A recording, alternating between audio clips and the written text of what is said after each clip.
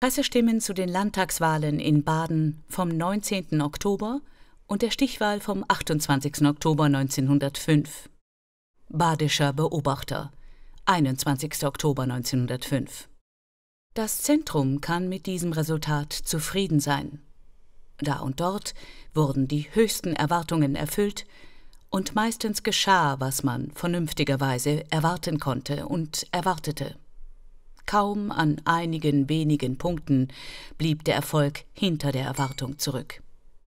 Das ist ein guter Anfang mit dem direkten Wahlrecht. Und eines. Das Zentrum hat alles aus eigener Kraft. Zentrum, Glück auf. Der Volksfreund, 21. Oktober 1905 die Sozialdemokratie hat keine Ursache, die Tatsachen zu vertuschen oder zu beschönigen. Wir sind mit unserem Erfolge nicht ganz zufrieden.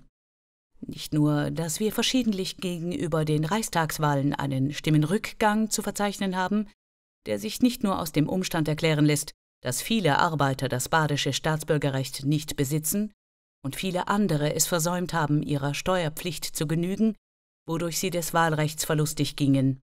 Wir dürfen es offen gestehen. Es fehlt der Schwung der Begeisterung. Der Volksfreund, 29. Oktober 1905. Badens Volk stand vor einem Wendepunkt der politischen Entwicklung. Es hat sich im entscheidenden Augenblick der auf ihm lastenden Verantwortung gewachsen gezeigt. Zum ersten Male hat die liberale Wählerschaft Schulter an Schulter mit der klassenbewussten Arbeiterschaft, entschlossen den Kampf gegen die Reaktion geführt. Badischer Beobachter, 31. Oktober 1905 Der Stichwahlliberalismus hat natürlich am 28. Oktober einen guten Fang gemacht.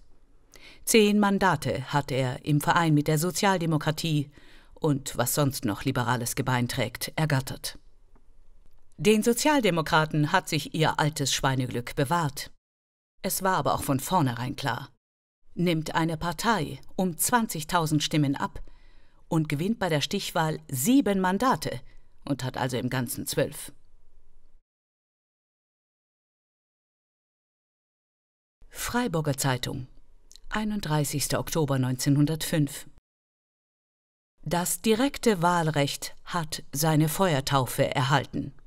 Das badische Volk hat sich durch die allgemeine, äußerst rege Wahlbeteiligung des bedeutenden Rechtes, das ihm die Verfassungsreform gebracht hat, würdig gezeigt. Durch die ganze Wahlbewegung ging ein großer, energischer Zug, der ihr aufgeprägt war durch die eminente Wichtigkeit und Bedeutung der ersten direkten Wahl.